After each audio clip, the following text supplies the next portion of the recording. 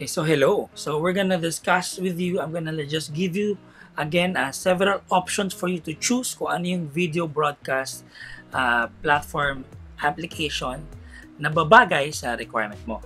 So we're not gonna go in depth in, in every platform, but I'm gonna show you the several packages and maybe a brief description about it. Okay? Malinaw?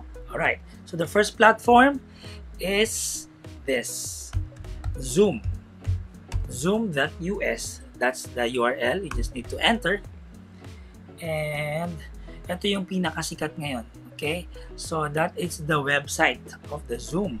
So as you can see, there are sa taas, merong tab na join a meeting, host, host a meeting, sign in. But if you know, wala ka pang account kasi kailangan mo mag-create ng account sa Zoom, click mo lang tong orange, sign up, it's free. Bago ka makapag-sign up, kailangan mo rin i-download yung application ng Zoom sa laptop mo. Okay? Sa cellphone mo, kailangan mo rin i-download. So, pati yung mga guest mo, kailangan rin nilang i-download yung Zoom or else hindi nila hindi nila ito magagamit. Okay.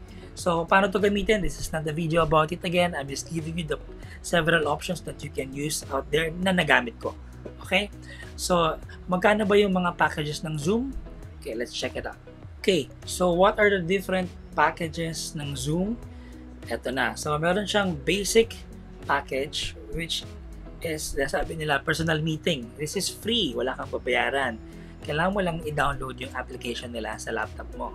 So, what what you can have is you can host up to 100 participants. Wow. Ang dami na yon. And you also have an unlimited one-to-one meeting. So, ibig sabihin unlimited kahit araw-araw mag-live meetings ka, video call ka sa isang tao, unlimited yon. Okay? Tapos wala ring limit yung oras nun. Pero kapag ka nakapag-meet ka na sa more than one person, 40 minutes lang yung limit mo sa oras na gamitin ito. Okay? And of course, uh, you also have the ticket support and all the other add-ons. Ngayon, anong difference nito? Ang basic meeting sa Zoom, magagamit mo lang siya pag private broadcast. So, 40 minutes nga lang kapag ka-group meetings. Pero pag gusto mo nang gamitin yung Zoom sa social media platform, gusto mo mag-live, kailangan mo nang pumunta sa Pro. Okay, magkano yung Pro? So, it's $14.99 per month. Pero mas mura to kapag kukunin mo siya ng annual. So, ang basic features niya, pareho nung nasa free. And then, uh, mas madami lang yung participants mo, 100. Tapos yung duration ng limit ng oras na meeting mo is 24 hours, di ba? And user management, nandiyan din, reporting, personal meeting ID, and then you can also go live on social media platform. And then the next package is the business package with this 99.99. Ito siya. And uh, buy now, ayan yung 99.99 and what you can do is you can also have the same features ng basic at saka ng pro syempre mas mataas na siya so there so yung iba pang may business na yan if you own a company you get the higher packages okay so they have the what they call this ito to yon pro business and enterprise packages So, kung big time ka, gusto mo, dito ka na sa enterprise. Okay? So, again, we're not gonna go in depth with this. Wow, what can I say about Zoom? Well, ginamit ko naman siya ilang beses. Uh, okay naman siya, but yung yung virtual background niya, kasi pag binuksan ko yung camera, parang naka-zoom na kaagad. Medyo malaki na agad. And hindi naman ako nito finil, hindi siya nag-cut sa akin. I'm using Chrome and Vivaldi as my browser in my laptop. I don't use Safari because si Safari medyo may problem ka sa mga video broadcasting. So, ano pa ba masasabi ko sa Zoom? Um, medyo madami siyang buttons, marami siyang pwede mong pag-aralan. And then, madali naman mag-invite kasi ito, i-click lang din ang invite mo, padala mo sa email or sa messenger, makakapasok na siya. Pero kailangan nga lang niyang i-download yung application. Okay? And then again, uh, ano bang downside kapag dinownload yung application? Eh, medyo babagal yung internet mo doon kasi kakainin niya yung bandwidth mo. Okay? Kasi gagamagaling siya sa computer mo palabas sa bandwidth mo mismo. Okay, so that is Zoom Solutions. And now we're gonna go to the next platform. Again, this is not an in-depth uh, tutorial with Zoom. I'm just gonna show you various platforms that you can use for video broadcasting. Let's go to the next one. Okay, the next one is MS Teams or Microsoft Teams. Okay. So, alam naman natin lahat na this uh, Microsoft Teams. Microsoft ang developer nito. So, yaan siya. Punta ka lang sa Microsoft, type mo lang yung MS Teams, dadalhin ka na niya sa site. Parang Zoom din siya. So, nakita niyo naman sa picture, meron din siyang, you can sign up for free. Okay? And then, syempre, yung free niya, may limit din. Okay? So, marami din tong packages. But, for me, personally, as an individual, I I, I am not using this if I'm gonna be hosting it. Okay? But I used this twice already or more than three, uh, four times na pala sa mga corporate clients ko because I'm also a virtual performer, entertainer as a magician. So I also give webinars. So I was able to use this kasi sa mga company, mas gusto nilang gamitin itong Microsoft Teams. At ito yung ginagamit nila to meet with their salespeople, with their colleagues, kasi they are after the security. Okay, alam naman natin. Now, pagdating sa gamit nito, uh, medyo complicated ng konti. Marami kang steps na pag-aaralan, totally different from Zoom. Uh, yung green screen niya, okay din, hindi mo kailangan ng green screen kasi automatic, pwede na niyang palitan yung virtual background mo. Kaya lang, yung pagpalit ng virtual background mo, medyo complicated siya. So, ayun. But, uh, so, but then again, uh, if you want to explore this, download it. Uh, this one also, you need to download, okay? Just like Zoom, you need to download it and install it in your laptop. Okay, so now we kanina we had Zoom, Microsoft Teams, and then now the third platform that I'm gonna show you is this.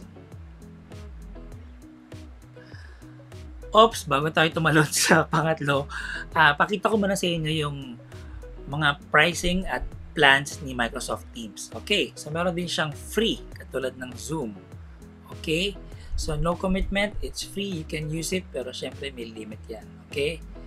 Now, the next plan is the Microsoft 365 Business Basic. So, this is mura lang, oh. $2.50. Okay? You, per user per month. Yun nga lang. Per user siya. Okay? So, ibig sabihin, per individual. Kung marami kang user, multiply mo lang. And then, we also have 365 Business and this is $10 per user per month and this is the Office 365 E3 and this is $20 okay per user per month. And then lahat ng contract nila is one year. That's it. So if you want to try it you go for the free. And it's also best for me if you deal with corporate people for you to have this installed in your laptop. Because ito yung madalas gamitin ng mga companies. Okay, now we can go to the we can go to the next platform. Okay, so now we are here now. As you can see, this is Be Live. There you go. This is Be Live TV. So you Be Live.tv. Okay. Now, okay, ngayon for the third platform, we have Be Live.tv. So, BeLive.tv, this is user-friendly. Sobrang daling gamitin. Uh, click ka lang talaga. Click, drag, click, drag ka lang. Okay? And uh, ito yung unang-unang ginamit ko na platform uh, nung March na nag-start ako mag-interview at saka mag-live broadcast. Okay? So, siya yung ginamit ko. And it's nice. And uh, this one, si BeLive, hindi mo naman kailangan mag-download ng app. Yun yung kagandahan niya. Okay? Kasi ito yung tinatawag nating browser-based. Hindi ko alam kung paano sabihin sa Tagalog yun. Pero browser-based siya. So, it's like a website. So, sa browser, tatype mo lang yung BeLive and then gagamitin mo na yun. Doon ka na mag-sign up. Hindi mo kailangan mag-download. I-allow mo lang siyang gamitin yung uh, authentication sa camera at saka sa audio ng laptop or cellphone mo. So, again, ang maganda sa, sa BeLive, pag browser-based, hindi siya kakain ng bandwidth ng internet mo. Okay? So, siya, kahit kahit gaano kalaki yung yung uh, video mo, uh, medyo si Live yung mag-handle nun for you. Okay. Okay. So, this is the Be Live TV. And let's check first kung magkano siya. Okay. Meron din siyang mga packages. Okay. Pero para din siyang Zoom. So, meron din siyang basic na free. Okay. Nagagamit mo na siya. Uh, kaya lang, meron ka lang 3 shows per month na pwede mong gamitin. meron ka lang 5 overlays and themes na pwede mong gamitin. It's available, it's a pre-made. And then you can have two selected branding colors. So yung, yung kulay na yun, yun yung kulay na lumalabas yung name. And then you can only have up to two people on the screen. So that's the free account. Okay? Tapos, hindi ka pwede mag-branding ng logo. Hindi ka pwede mag-share ng screen. Okay. But you can go live on social media. Ah, si Zoom, hindi ka pwede mag-live sa free. Si BeLive, pwede ka na mag-live sa social media. Okay, the next price niya, ito yung kinuha kong package, yung $24 per month. Kasi gusto kong ma-customize yung logo at saka yung uh, uh, overlay ko. So, ito, unlimited shows din. And then, you can customize your design. Tapos, pwedeng hanggang apat na tao yung iakyat mo sa screen. Diba? And the next package is the Pro package which is coming soon pala. So again, be live TV So if you wanna try it, it's free. Pwede mo na siyang gamitin. Okay? And uh, now we're gonna go to the next platform. Ito, paborito ko. Okay, so from BeLive, itatype mo lang sa browser ay StreamYard. Okay, kita nyo na? Yan na, StreamYard.com. So, eto ngayon, nakasubscribe ako dito. Pero sige, pakita ko muna sa inyo yung iba't ibang prices at packages ni StreamYard. Okay, so ito na yung mga iba't ibang packages niya. So makikita nyo, yung first package or basic plan niya is free, $0. So pwede mo nang gamitin si StreamYard. At isa pa, si StreamYard parang si BeLive TV. Ito ay browser-based. Ibig sabihin, itatype mo lang yung link sa browser mo at hindi mo kailangan mag-download ng application sa laptop or sa phone mo. Okay. So, ano yung makukuha mo sa free? StreamYard branding. So, ibig sabihin yan, yung StreamYard logo yung lalabas, hindi yung logo mo. Yung limit mo is up to 20 hours per month lang for the free plan. 20 hours per month. So, siguro kung isang oras per per live broadcast mo, edi meron kang 20 live broadcast. At anim lang yung pwede mong ipasok sa screen. Okay? So, if you're gonna do a live show, okay. Pero with this StreamYard, you can go online and live on a social media for free. Di ba? Um, okay na ito gamitin. And now, ito yung plan ko. Kung makikita nyo, nakalagay dyan, no? kasi nakasign in ako, current plan. Ito yung plan ko. So, I'm paying 25 $25 per month. And ito, meron na akong sariling customized branding sa logo ko, unlimited streaming na ko, tapos, sampu yung participants na pwede kong ipasok sa screen. Uh, virtual background, ginagamit ko siya. Tapos, recording hours. Recording, eh, medyo mahaba. 4 hours per stream. Tagal na yun, ha? And then, ang kagandahan dito sa package na to, multi-stream. Ano ibig sabihin ng multi-stream destinations? Pwede ako mag-live stream sa dalawang social media platform ng sabay. So, can you imagine kung meron kang group, meron kang profile, meron kang page, YouTube, LinkedIn, Okay? Uh, these are the things na pwede kang mag-live. Okay? But with LinkedIn, I think hindi ka basta-basta makapag-live doon. Pero that's a different topic. So, the next plan nila, ito yung next plan, yung last plan, yung professional. Ito yung kinuha kong plan una. Alam niyo kung bakit? Kasi you can go live stream into ayan o, limang destinations. Can you imagine? Isang live stream, you can go live stream into five different destinations ng sabay-sabay. So, yung mga comments na yun, makikita mo rin at lalabas at makakausap mo sila. So, ngayon, I have the basic plan which is $25 per month. And if you want to try it, there's a free trial account where you're not gonna pay for anything. Okay? So that's StreamYard.com. Let's go to the last one. Okay, so the last one, which is also I'm subscribed to this, and I love this application. Kaya lang, ang downside nito, itong eCam ay para sa mga Mac users lang. So I'm sorry sa mga PC laptop users but this one is only for Mac users. But anyway, I'm showing it to you as an option kung naka-Mac ka. Okay. So, eCam, uh, this one you can go, I, I find it more easy to use if you're talking to one-on-one person. Eh, kasi gagamitin mo yung Skype account niya So you're gonna contact the person through Skype and hindi ka tulad ng mga sinabi ko kanina, like MS Team, Zoom, StreamYard, Be Live, meron silang link na ibibigay mo sa kanila. With this one, you have to contact him through Skype. Ang kagandahan naman ni Ecam, pwede mong gamitin si Ecam as a virtual camera for you to use it in Zoom, in StreamYard, and in other platforms. Ang galing, di ba? Kasi medyo maganda i-manipulate yung camera nitong si Ecam. As in, andali, uh, yung features niya, uh, yung pagpasok ng music at ng movies, ng video, pang pang share screen, sobrang madaling gamitin. Na ito yung paborito ko, si Ecamm. Kaya lang pang Mac lang siya. Ngayon, ano-ano ba yung mga package ni Ecamm? Tingnan natin. Okay, now we're gonna go to the package of Ecamm. Again, si Ecamm, pang Mac lang siya. Okay? So, if you're gonna choose your plan, eto, meron din siyang free. Kaya lang, 14 days lang siyang libre. And then after that, ibibill ka na niya. Okay? So, uh, there you go. No credit card required. So, 14 days of trial of Ecam, the standard and pro features for a full function. So, pero 14 days lang. Okay, now the next plan niya is meron siyang standard plan which is $12 per month.